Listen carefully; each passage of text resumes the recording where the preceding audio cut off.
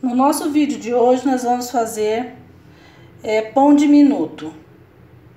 Então o que, que nós vamos utilizar? Nós vamos utilizar 3 colheres de açúcar. Aqui na minha bacia já tem uma colher de chá de sal. Aqui são 3 colheres de sopa de açúcar.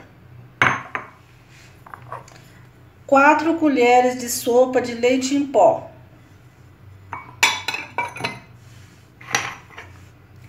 Uma colher de sopa de fermento em pó químico, fermento de fazer bolo, tá? Vou utilizar três xícaras de farinha de trigo, só que essa farinha de trigo nós vamos é, peneirar, porque peneirando fica mais fofo. Eu tenho esse peneirador aqui, pessoal, olha, que a gente faz aqui, ó, a gente faz assim, lá dentro tem, tem essa peneirinha no fundo e tem esse aqui que vira. A gente põe a farinha, faz assim, ela vai peneirar. Vou mostrar pra vocês. Olha só.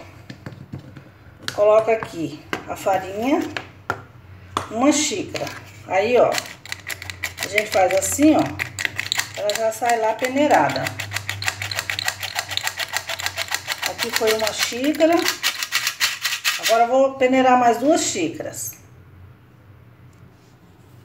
Vou misturar bem misturadinho todos esses ingredientes secos. Que é a farinha de trigo, é o sal, o açúcar e o leite em pó. E o fermento em pó químico, né? Misturei bem. Agora eu vou acrescentar aqui um ovo bem misturadinho assim, ele é batido, né? Não é batido, mas é misturado com garfo. Vou juntar ele aqui. Vou juntar aqui também duas colheres de sopa de manteiga ou margarina.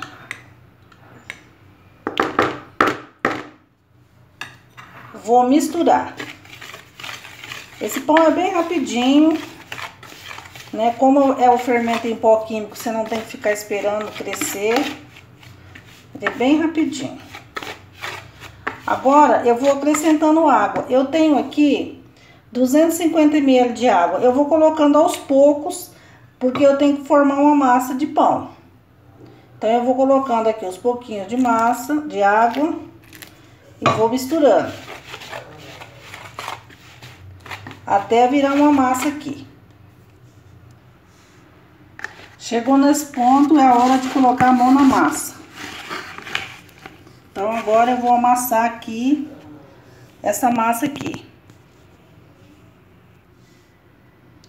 A massa tá nesse ponto.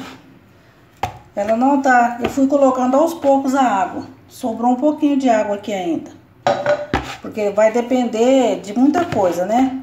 Depender como que tá a umidade do ar. Vai depender da sua farinha.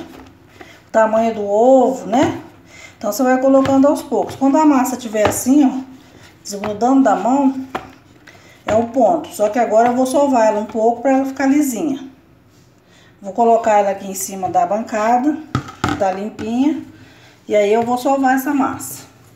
Não é igual a massa com o, o fermento, com aquele fermento biológico não, tá, gente? Ele, é, ela é mais fácil de sovar, você não precisa ficar sovando muito tempo. Tem que sovar até ficar liso. Então, aqui eu vou sovar até ficar lisinha. Eu sovei bem a massa, ela não, tem nenhum lugar sem sovar, ela tá lisa. Então, agora eu vou deixar ela descansando 10 minutos aqui na minha bacia. Vou colocar aqui, vou tampar a bacia. Ela tem uma tampa, vou tampar. Ou então, você pode colocar um pano ou um... Ou um um, um papel filme, né? E um plástico filme e deixar aqui 10 minutos descansando. Já se passaram 10 minutos, então eu vou destampar aqui. A massa ficou descansando. Vê que a massa não cresce, porque o fermento em pó químico, ele só cresce quando você vai assar. Mas olha só como que tá a massa. Então agora, Olha só, a massa tá bem bonita. Agora eu vou pegar essa massa e vou dividir para fazer o pãozinho do tamanho que eu quero. Espichei a massa assim, ó. Agora eu vou cortar ela. Vou medir assim, uns três dedos de tamanho. E vou cortando os pedaços.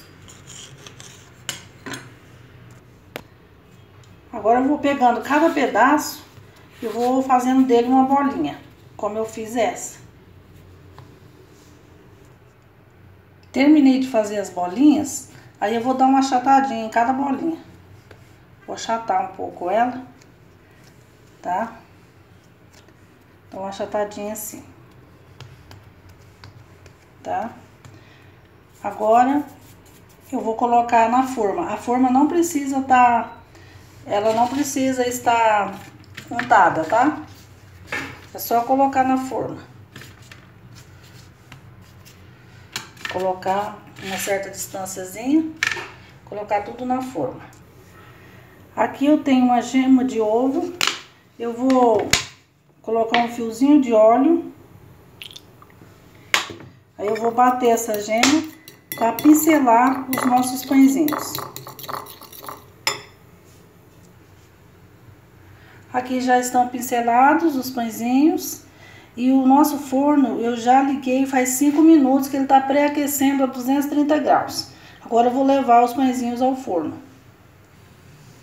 Enquanto o nosso pãozinho está assando, eu já estou aqui com essa aguinha no fogo para fazer um chazinho bem gostoso para acompanhar o nosso pãozinho. Vou colher aqui na minha hortinha, que eu tenho em vaso em casa, umas folhinhas de hortelã e vou fazer um chazinho de hortelã misturado com folhinhas de erva doce. Coloquei a, a erva doce e a hortelã aqui na panela. E agora eu vou desligar a panela, quando ela abrir a fervura, eu vou desligar, vou tampar e vou deixar descansando enquanto meu pão termina de assar. Tá aqui prontinho o nosso pãozinho de minuto. Eu cortei um para mostrar para vocês, ó, como que ele fica por dentro. Agora passar uma manteiguinha, né, ou uma margarininha nele, ou uma geleia, como você quiser. Tá aqui prontinho o nosso pão de minuto. E aqui já tá o nosso chazinho prontinho para servir um café da manhã bem gostosinho, né? Então tá, vamos lá tomar o nosso café da manhã. Se você gostou do vídeo, é, deixe seu like, se inscreva no nosso canal. Muito obrigada e até o próximo vídeo.